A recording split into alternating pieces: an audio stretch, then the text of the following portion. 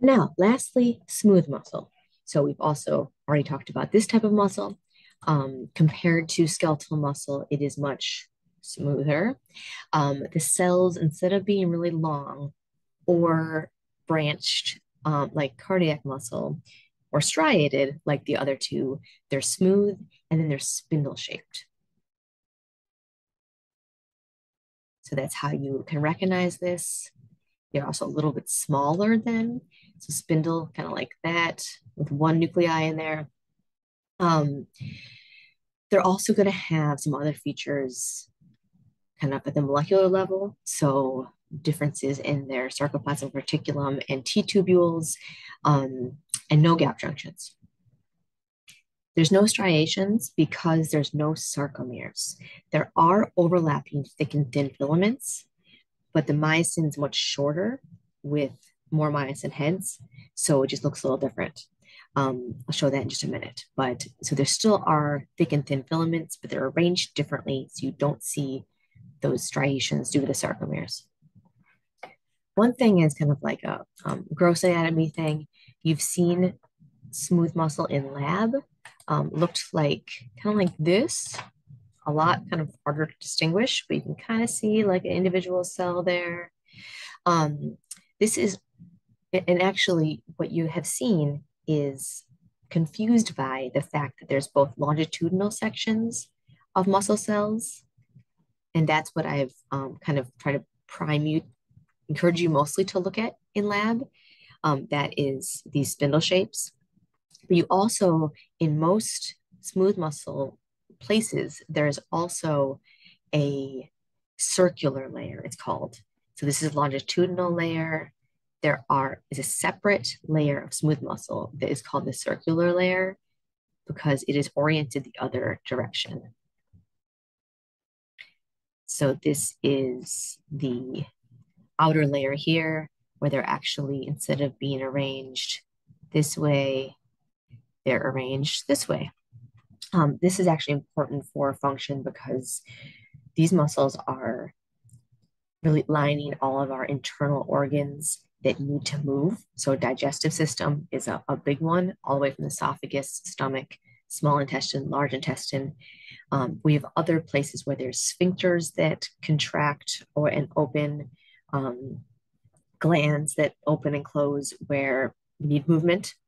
Um, but digestive system is a good, really good example where we want to be able to move food or whatever we call it at that point down this tube while also like mixing and churning. So having muscle layers going different directions helps us with that. Um, so important feature of smooth muscle is also that it's involuntary, right? We're not controlling these digestive processes or release of um, digestive juices or other, other secretions. This means it is controlled by the autonomic nervous system as well, just like cardiac muscle. Okay, so one more slide for smooth muscle, a little bit about the physiology um, that's quite different than skeletal muscle. Not going to spend a lot of time on it, but um, it is different in terms of that neuromuscular junction we talked about in skeletal muscle is not present in smooth muscle. Instead, there are these varicosities. So right here, it's the word, right, a little bit bigger here. Varicosities.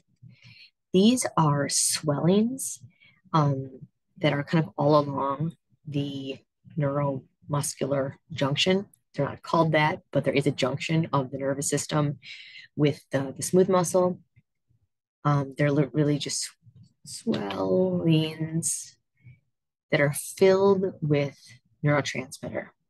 So these are going to um, kind, of, kind of diffuse junctions that sprinkle. I like I like that term. They're going to sprinkle what? What what what does it sprinkle onto the muscle? Neurotransmitter, right? That's what neurons release onto the muscle, um, with muscle cell. So just to uh, actually make this a little bit more apparent here, this would be a smooth motor neuron coming in here.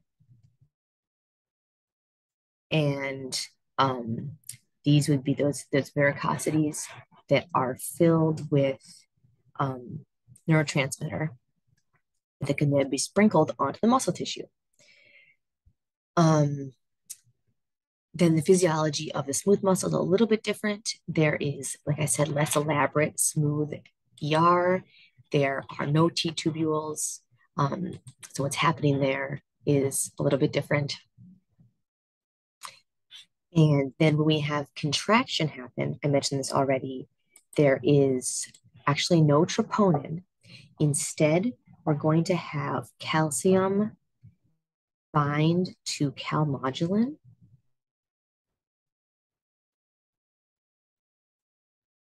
which is a different protein, calcium modulated protein. Um, that is going to activate myosin kinase, which is going to phosphorylate the myosin heads. So that is similar to our skeletal muscle, so myosin, myosin kinase, so that we can phosphorylate our myosin head and they can bind to actin. So that initiation step. So phosphorylated hmm, myosin binds to actin. So we still have those thick and thin filaments.